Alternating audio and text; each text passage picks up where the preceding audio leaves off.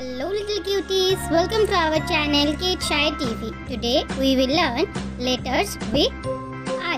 So let's get started. I. I for iron. I for iron. I.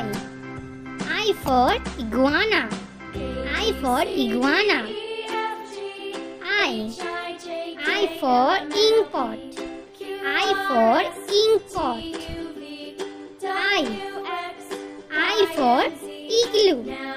I for igloo. I.